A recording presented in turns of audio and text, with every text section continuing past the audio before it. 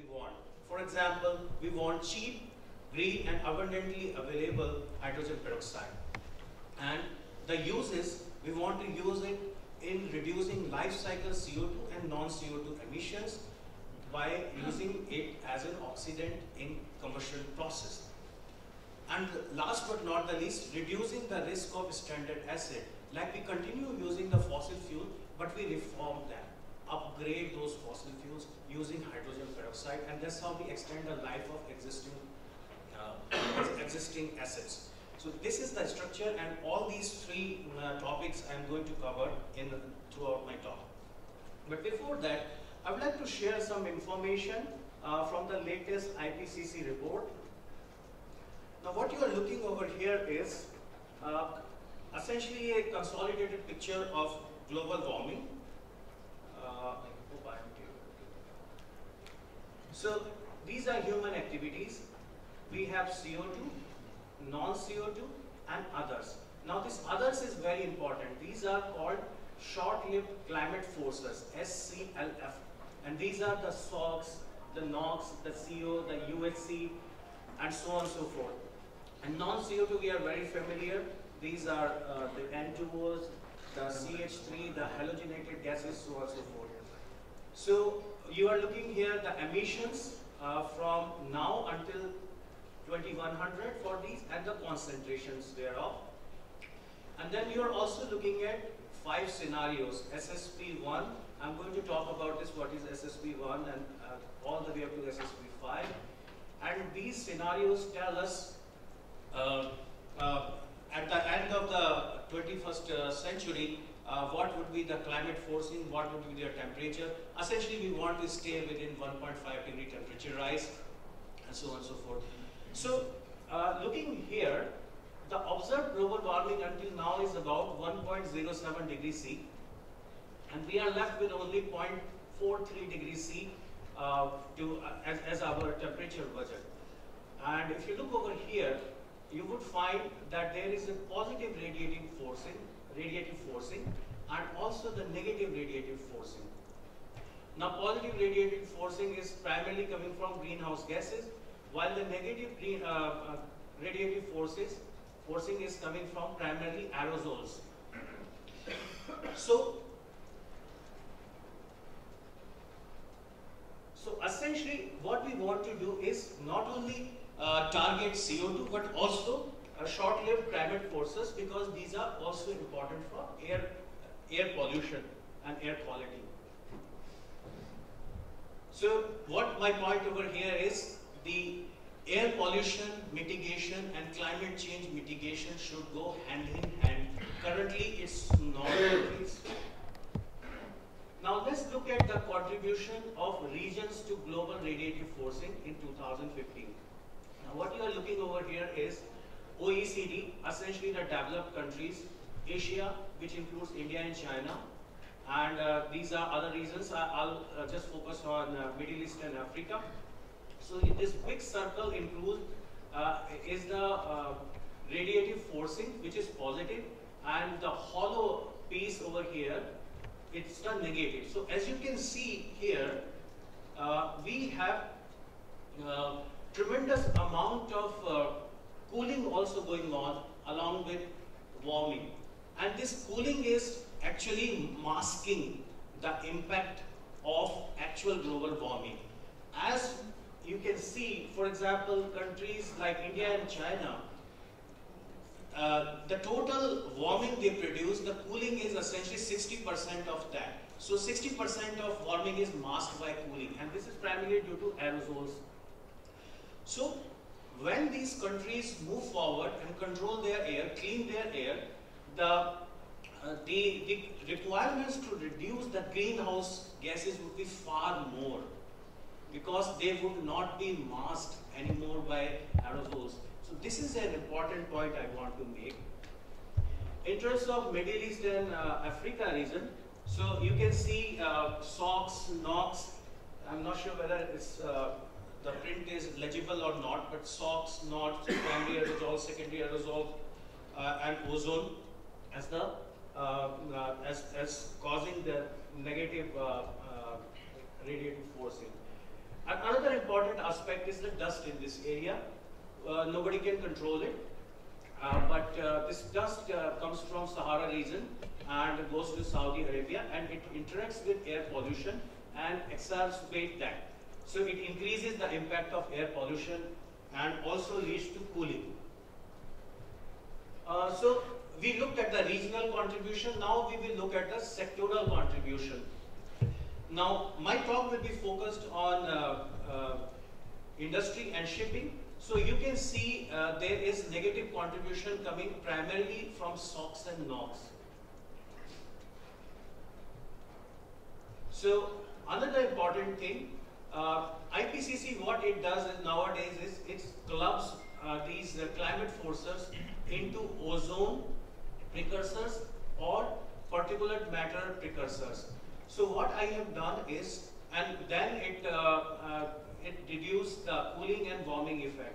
What uh, we have done over here is, we have also, with all these climate active gases or aerosols, we have looked into the pollution aspects, for example, coal, oil, natural gas, and hydrogen ammonia, and look at the impact on these pollutants uh, for uh, when, when the combustion happens.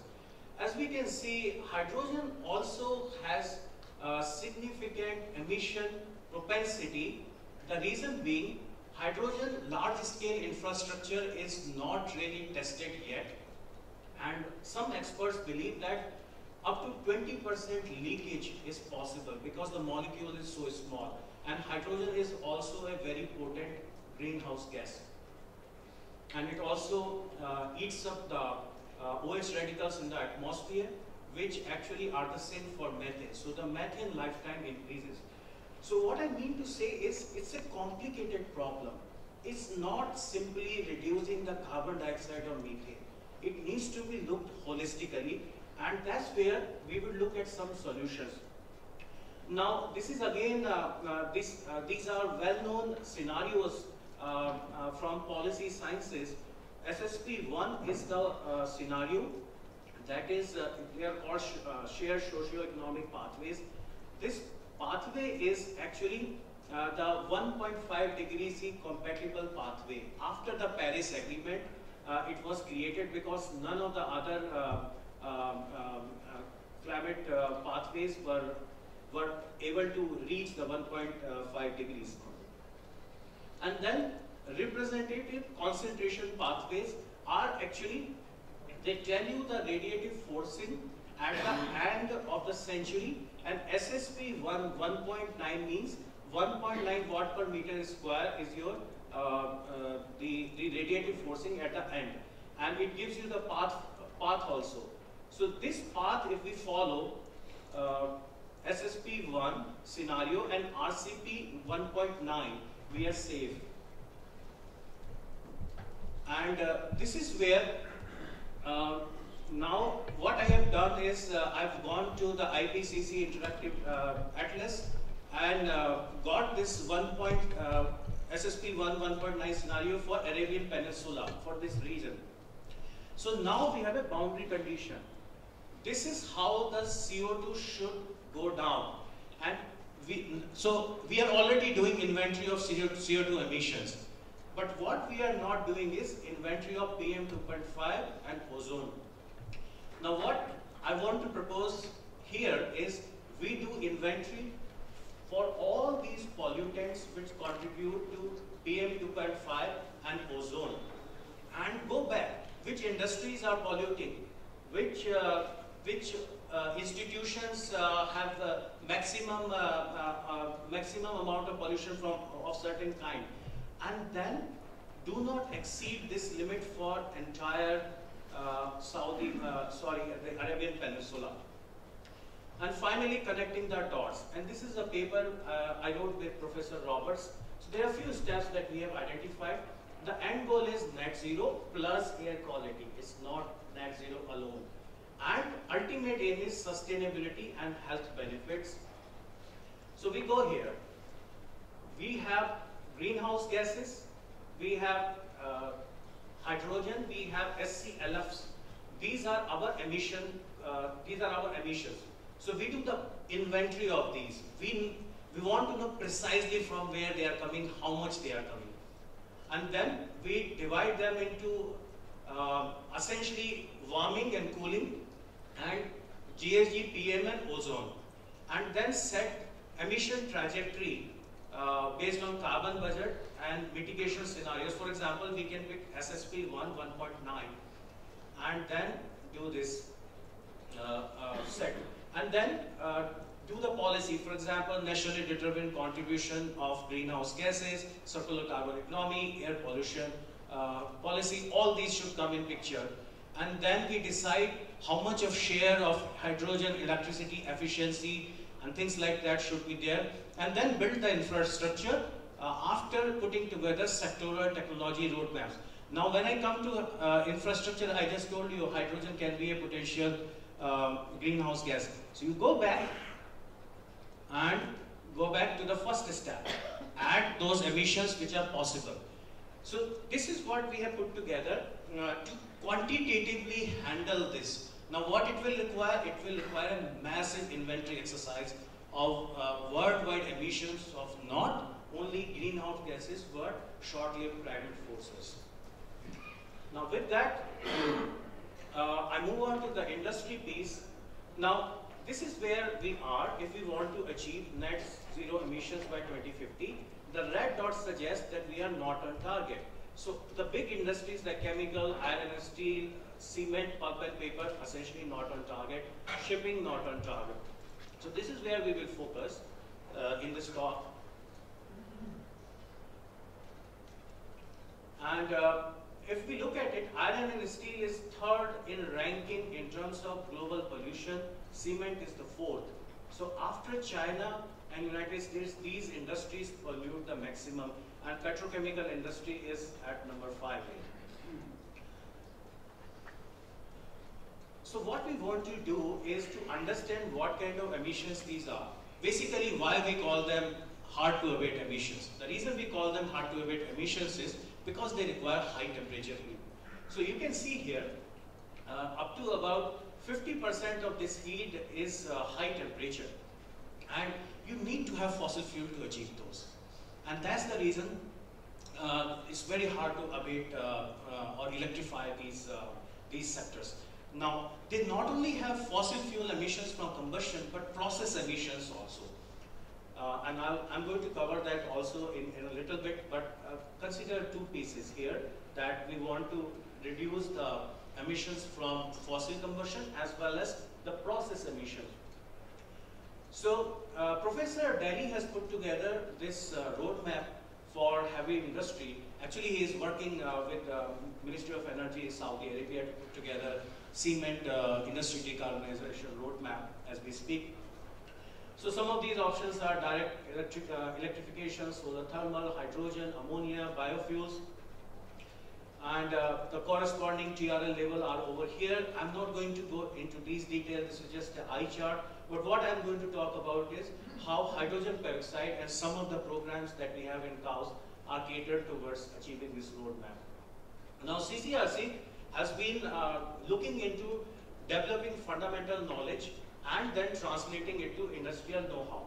So I'm going to uh, discuss two technologies. Third technology is, uh, I'm not going to, I'm just going to mention that.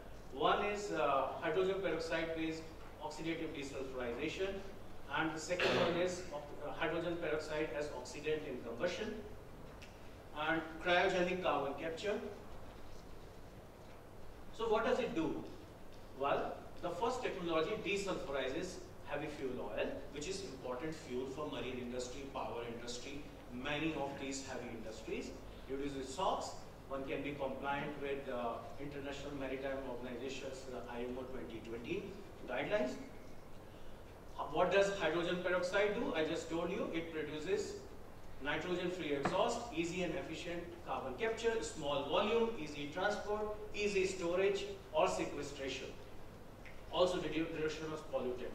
Cryogenic carbon capture is perhaps one of the only technologies that not only captures carbon, but allows you to uh, capture SOx, NOx, and PM, mercury, etc. So this is a technology which uh, Professor Robert uh, has led the development for last four or five years, both these, uh, the oxidative desulfurization and uh, triple C. And uh, we have uh, achieved significant success. We are currently at TRL 7. We are demonstrating this at large scale at customer size, sites. the, the ODS technology as well as the this uh, carbon, cryogenic carbon cap capture. Currently 30 tons per day uh, MOU have just been signed. Now the middle one is uh, where my talk will be focused because it is still a low TRL. As I just said, it's Professor Dally's idea to, to, to, to explore hydrogen peroxide as a, as an oxidant. And uh, major challenges, uh, I listed, uh, I, have listed here hydrocarbon recovery for ODS, sulfur management, I'm not going to go, go into those details, but I'm going to go in details about green production of hydrogen peroxide, burner and combustion modifications. Cryogenic carbon capture, we are overcoming this hurdle. As I just said, we, we, have, uh, we are building this uh, for uh, Saudi electricity company, 30 tons per year as we speak. Um, and the uses thereof. Now, this is again an eye chart what I want to show over here is different fuels and different emissions and uh, high potential for cleaning those emissions is green and very low potential is red. Now when we look at uh, um, uh, heavy fuel oil with ODS plus hydrogen peroxide plus triple C, it essentially checks all the boxes, but the cost is high natural gas with hydrogen peroxide and triple C also checks all the boxes, but this is hard. So this is where our focus is. But as I said, these two of these technologies are fairly mature at 70 TRL, but hydrogen peroxide is not yet, uh, so it's more in the exploration phase. I just want to highlight that. Okay, now summarize, synchronize circular carbon economy with air pollution control policy. Currently, it's not. We only talk about circular carbon economy, and it's simply not enough. We need to have inventory of short-lived climate forces. We need to create roadmap based on alternatives potential to mitigate both greenhouse gases and SCLF emissions. And we look forward to uh, integrated solution. I just showed you three technologies put together, giving you a certain option. And our aim is to keep using existing energy infrastructure and reduce uh, stranded assets. For hard to abate uh, sectors, process emissions are very important. And this is again, I will focus. So now I go back to this chart and start talking about first two items. The production piece. Now I'm going, not going to spend too much time here. I just want to flash that hydrogen peroxide is a safe, uh, safe chemical it can be used as a reducing agent, oxidizing agent. It de decomposes as oxygen and water. And it could be cleanest and most versatile chemical reagent. However, it has a penalty. It's not really produced uh, uh, cleanly today. Uh, so, as you can see, it has 47% uh, active oxygen content which is quite high actually. If you think about ammonia as uh, hydrogen carrier, it only has 17% content. Now what it does, it at 450 degrees C, it decomposes to produce water and oxygen. And this is the main draw. It has been used as flame oxidizers because what it does, it increases the active radicals, OH, HO2, HCO, so on and so forth in the flame. Extinction limits are enhanced, flame speeds increases, all those things happen. And currently, uh, we produce about 5.5 million uh, tons of, uh, of, of, hydrogen peroxide. Cost is somewhere between 500 to 1200 uh, per ton. And uh, it, it, all of these uses are very well-known uses. I'm not going to go over there. Uh, but I want to focus on how we produce this. There is a process called anthraquinone process 95% of global hydrogen production comes this way. There are other processes like oxidation of alcohol, direct synthesis, so on and so forth, and uh, bio-inspired plasma treatment. But what we think could be potential uh, game changer is electrochemical uh, or photoelectrochemical synthesis. Uh, so, uh, anthraquinone process is a three-step process, uh, uses uh, this chemical anthraquinone, and as you can see, there is O attached here. When it reacts with hydrogen, the OH comes uh, over here, and then it reacts with oxygen, and it releases uh, hydrogen peroxide. Some of it is, consumed. this process is not very efficient. One of the reason is hydrogen is gray hydrogen produced from fossil fuels and it uses expensive uh, palladium catalyst. A lot of uh, difficulties with this, but this is what we have. It has extremely high carbon intensity, 0.534 kg per uh, kg CO2 per kg of hydrogen peroxide. Now our idea is to valorize O2 from green hydrogen production. Now why we say that? This is a chart created by uh, this uh, one of the book I'm uh, co-editor. My uh, colleagues Brown and Shabana uh, of Hydrogen Economy and Saudi Arabia has produced this chart. So what you're looking at in 2050, we are looking at somewhere between 560 million tons or 560 million tons, or 520 million tons of hydrogen being produced. If you think about it, 600 million tons of hydrogen is equivalent to uh, 5,280 million tons of uh, oxygen, which could potentially turn into 10,200 billion tons of hydro, uh, hydrogen peroxide per annum, but if we are able to do that.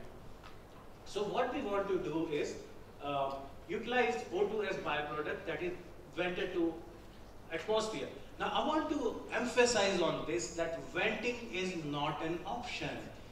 One cannot vent out excessive amount of oxygen in the atmosphere because it will uh, it will have an oxidative environment in the surrounding. It will increase corrosion. There would be a lot of issues with it including effect on life. So this is not an option. We got to have some use of this hydrogen uh, uh, oxygen. So now we propose is renewable energy to convert oxygen to hydrogen peroxide and let it act as oxygen carrier as well as renewable energy carrier. And some of these uh, processes like steam methane reforming, autothermal reforming need oxygen as well as steam. So hydrogen peroxide in one go can be your one-stop shop for your uh, reforming. And uh, so this is uh, again just an eye chart. You take your uh, renewable energy oxygen, renewable energy, and water, and uh, do the electrolysis, and then the distillation, the distribution, and end use. So the, uh, the, the exact process is called oxygen reduction reaction and water oxidation reaction. I'm not going to go in those details. And uh, this is the overall reaction. But uh, what I want to uh, show is uh, that what are the current issues with this. Now the issues currently are developing selective catalysts as well as membrane and um, overall improving the yield and pro uh, uh, process efficiency of this. And uh, so as I said, this is currently chemistry limited. Again, a comparison between oxygen and hydrogen carrier 47% uh, oxygen uh, is uh, carried by hydrogen peroxide vis-a-vis -vis, ammonia, which is 17.6%. Other important thing is it's liquid at room temperature. Liquefying hydrogen oxygen takes minus 183 degrees Celsius. Shipping of hydrogen, oxygen or ammonia in their liquid states need highly energy intensive pressurization and thermal insulation but no such requirement for shipping hydrogen peroxide.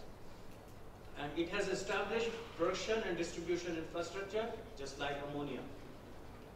Now we did some techno-economic study for about 3,000 tons per day of uh, production uh, of uh, H2O2 uh, with concentration 30%. and uh, these are some numbers. I just want to convey the message. Half of the cost is coming from electrolyzers and its um, installation and rest is the construction. And in the OPEX, most of the cost is labor. And it's very flexible, depends upon country to country. Now, as you can see, we, we feel that we can achieve 578 per ton of EH2O2 solution with delivery 2000 kilometers away using shipping. An anthraquinone process is uh, 500 to 1200 per ton of H2O2 excluding the transport cost. Now what, what we did was, uh, we did this study where we compared liquid oxygen, uh, EH2O2 and chemically synthesized, which is uh, the regular production of hydrogen peroxide. There is not uh, much to choose, but the green uh, production and transportation offers uh, quite a lot of uh, advantage. Now, another important thing to note is uh, we are transporting oxygen as oxygen. Here we are transporting oxygen with water. So the quantity that is being shipped is uh, quite, quite a lot. It's about 10 times high. So there is some carbon penalty. This is carbon penalty here. So comparatively, there is carbon penalty for transporting uh, uh, uh, E hydrogen peroxide. So now, what we did was, uh, on our northwest coast, we have NEOM, which is the green hydrogen plant, and on the west coast, we have several SMRs. So we thought, why don't we use this opportunity to see what cost it is uh, if we transfer by uh, land route or sea route. And as you can see, scenario one is uh, we make hydrogen peroxide plant in Dammam and use it in Dammam. So both, so we are shipping the oxygen here. And in this case, we are uh, sending the H2O2. So we are making the, the E, uh, e uh, H2O2 right here in, uh, in NEOM and sending it out. And the costs are not too different. Uh, but uh, if we make chemically this and use it, uh, then uh, it's uh, the maximum cost. So cost-wise, it makes sense. So, so what, what is the bottleneck? The bottleneck is, is the, the e, e production does not exist today. Okay? So, if it does not exist, should we stop uh, working towards it? Absolutely not.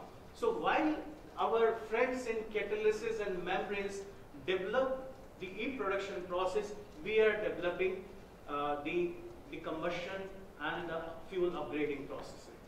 And this is where I'm going to highlight some of the ongoing research work of Professor Dally uh, that he is doing. So you saw Zhaojin's uh, presentation uh, uh, two days ago. So what we have done, we have done some counter flame uh, diffusion, uh, counterflow diffusion flames and achieved stabilized hydrogen peroxide on your right, on your left, water and oxygen flame. Now when hydrogen peroxide breaks, it breaks into water and oxygen, but it also releases energy. So the adiabatic temperatures are higher. So their luminosity is primarily coming from uh, uh, uh, from from water, we believe.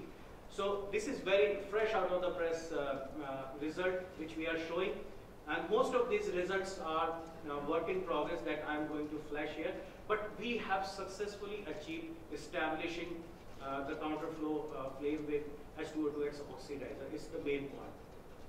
Extinction results, my friend Zhaojin showed so we uh, used uh, hydrogen and nitrogen as fuel and used water and oxygen as the oxidizer and determined the extinction strain rates. The extinction limits are increased. However, the important piece over here is none of the kinetic mechanism was able to predict that. So what we believe is that the flame become more resistant to extinction at higher fuel and O2 concentration, but state of the kinetic, uh, state of the art kinetic models are currently not adequate to handle those. Now, after uh, laminar, we move on to the turbulent swirling inverse diffusion flame. I'm sure uh, uh my colleague Dr. Ayman will uh, present on this, uh, on this, but with, with a different fuel. But we are using uh, Dr. Ayman and uh, Professor Roberts uh, this burner, turbulent uh, inverse uh, diffusion flame burner, and we don't have any results yet. But what we have done, we have modeled this, and again the modeling results are also fresh out of the press. So we have this flame. Uh, uh, Dr. Ayman determined the stability limit with methane. So we have this FS2 flame. So what we are doing, we are picking this flame for uh, baselining our work. And these are C uh, CFD model uh, details.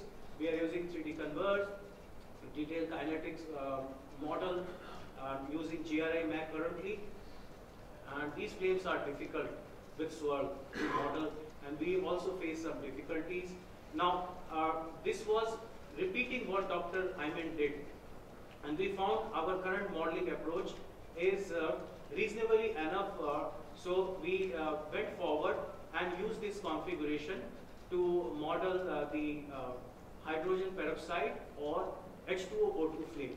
Now, until last week, these are two cases, one with uh, hydrogen, uh, uh, water as 0.3 and oxygen as 0.7 and in the other one water is 0.6 and oxygen is 0.4. We couldn't establish uh, hydrogen peroxide flame. Uh, there was a lot of flashback, so we are not showing those results. But uh, we got uh, some preliminary results that we are showing. The first one has high oxygen content. The second case has low oxygen content. You could see that the second case is a getting points due to water content. Whether the flame in the first one is, uh, is still holding on. These are very initial results, so I won't comment beyond this. The point I'm trying to uh, make over here is we have started working towards establishing a program of uh, uh, where multiple activities are going on in this field to explore fundamental as well as ITRL level research. This is one work that Professor Dally did, and this is where uh, process emissions come into picture. This uh, limestone calcination is one of the main processes of cement. It is done at uh, 800 to 900 degrees C. This process alone accounts for 4% of global CO2 emissions. And the CO2 actually comes from the process itself, not the combustion piece. 65% is process, uh, process emissions. So no matter whether you use electrification, no matter whether you use electrification or combustion, you will encounter uh, these uh, emissions. You, you, cannot control. And that's why carbon capture is the only option that is ne needed. And this is the process that uh, Professor Dally has developed with his colleagues, where we take hydrogen peroxide, and this is the E option here, but I'm talking about this. And uh, this hydrogen peroxide, without any nitrogen, this oxidizes the uh, fuel, and it goes, uh, does, does the calcining. The exhaust of the calciner does not have any nitrogen. Water can be condensed out, and CO2 can be easily sequestered uh, I'll skip some of these charts. And uh, one of the important pieces is we are able to achieve the uh, adiabatic flame temperature that is uh, achieved with combustion of uh, uh, methane with air. And again, modeling on this. Some of the Aspen results we are showing. Main challenge currently is on your left y-axis, the, this is uh, the production of hydrogen peroxide uh, without any uh, renewables. On your right, with renewables. So, and uh, the x-axis is the amount of hydrogen peroxide in, in the oxidizer. So as you can see, the captured carbon actually increases a lot when we, uh, when we use uh, uh, when we could use the renewable uh, hydrogen peroxide. However, today, uh, this is not the case because hydrogen peroxide has major penalty. So again, I won't go into these details. we are able to establish uh, thermodynamically uh, realistic process, similar energetic efficiency with modest changes. Net CO2 emissions are also reduced and similar adiabatic flame temperature can be achieved. And in summary, uh, the high cost of CO2 capture due to need for separation of diluted CO2 from N2 in exhaust and we are able to overcome this because nitrogen free exhaust, exhaust is possible. The preliminary assessment suggests that we need to work on reaction kinetics, heat transfer, flow regimes, system material compatibility and techno-economics to really make, uh, uh, to really explore uh, the calcination building hydrogen peroxide. Absence of uh, N2 also reduces uh, NOx, which is uh, which is currently a major challenge. But as of today, H2O2 is not very well established and there is scientific knowledge which is lacking and hence excessive research is needed in securing fundamental data and building credible kinetic and CFD model. And with that I am done. Thank you very much.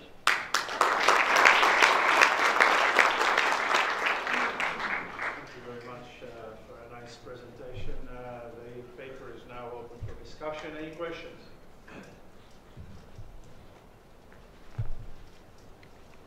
Yes, sir. Yeah. So thank you for that brief. Let's wait for the mic. So I, I just get made one very interesting presentation. So uh, you're talking here about the hydrogen peroxide combustion in environment of water vapor uh, plus O2 as oxidizer. So have you compared this if we just replace H2O with carbon dioxide? So it will be easy separation in this case, just condensation in the exhaust and then you can capture carbon dioxide. So what will be the effect on the flame in this case? Thank you. So let me just clarify. Water and oxygen are kind of surrogate for hydrogen peroxide that we want to do first these then go to hydrogen peroxide. Because when hydrogen peroxide dissociate, gives you water and oxygen, but with lot of energy. So the two flames are different. The energy content of two flames are very different because hydrogen peroxide breaking is an exothermic reaction. That is not there with water and oxygen.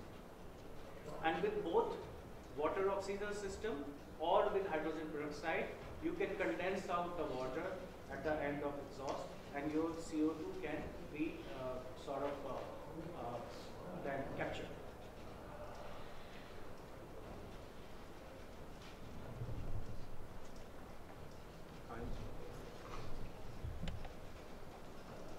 Heinz Pitsch from Thanks for the really interesting talk.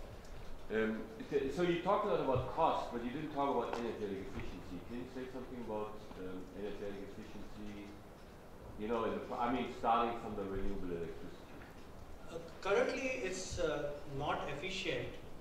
Uh, I have uh, one chart here, if you can see. Uh, we are achieving the first law efficiency of 45% with maintenance fuel and 46.7% as as coal as fuel. C is carbon is a substitute or surrogate for coal.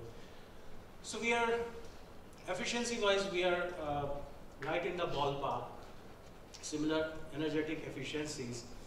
But the main challenge over here is if you look at the very first row, uh, this is fraction of CO2 avoided by using CH4 and C.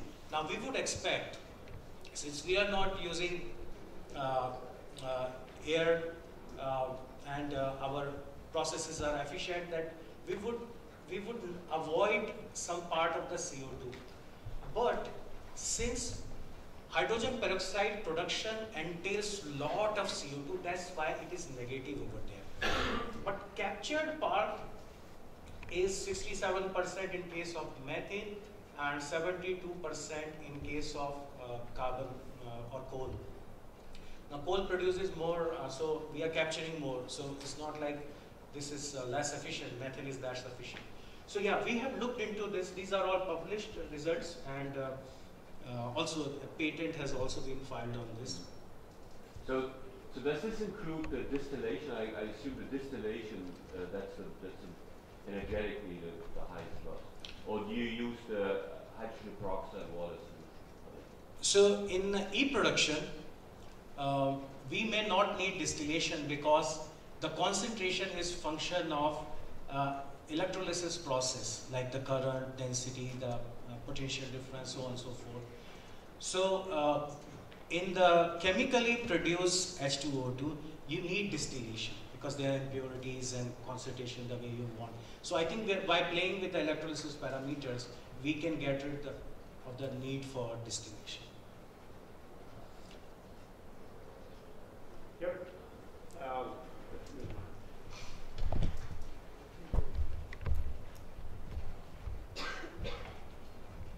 that's all. My question is about uh, safety. Is uh, this hydrogen peroxide so is this solution in water? As far as I know, this so this uh, kind of solution you cannot put them too much, otherwise they can undergo explosive decomposition. So there are stabilizers typically added to this kind of mixtures. Yeah. Are you going to use it as a liquid or as This is an excellent question. Uh, what we have seen uh, from our uh, literature work, up to 40% concentration is uh, very safe, can be easily used. But uh, uh, there is a group in Korea, Professor Lin, I have his reference, he has used up to 50% uh, in coal combustion. So he published this work in 2017, some of the early works where he used uh, uh, hydrogen peroxide for coal as an oxidant in the coal combustion process. So there he used up to uh, 50%. So yes, it's, it's, a, it's a concern, but you may not need that much. So the point is, all these things are there, just like they were there a few years ago for ammonia. But now we consider ammonia as a viable option. So currently what the, the, the, the proposal we are presenting uh, to the commercial community is consider this as an oxygen carrier and start evaluating it. Do some fundamental work, generate knowledge, and find out whether it really works or not. We believe it can work. so did, did you vaporize in the counter for Yes, vaporization is the, right thing to do. So pre-vaporize it and then use it. Okay, thank you. Yeah. Okay, so last question, Gaetano. Oh, go ahead. Last question. So, but uh, for in the aerospace industry, hydrogen peroxide has been used as an oxidizer for propellant. And normally, from what I recall regularly, is you use a, a catalyst to decompose the, the uh, hydrogen peroxide. Why you Yes. guys are pre-vaporizing with a catalyst may be much easier. So, in the rocket, uh, as a rocket propellant, what happens is the concentration is extremely high, up to 90%. So, what they do is they, they decompose it by using a catalyst, and the product is a steam at about 6 700 degrees Celsius, which uh, they use uh, um, as, as, as a thrust uh, agent. So, it's, it's different over there, and it is monopropellant. No, no. No, they use it also for. I'm, I'm very sure they use it. So I told you one example, and perhaps they use it for oxidizer also, but the concentrations are extremely high. For combustion purposes, we don't need. Okay, that's probably a good uh, note on which to close. So please join with me again in thanking uh, Dr. Saxena. And now we'll continue with the rest of the uh, contributed papers. So uh, we'll just uh, uh, hold for a minute for transition, but the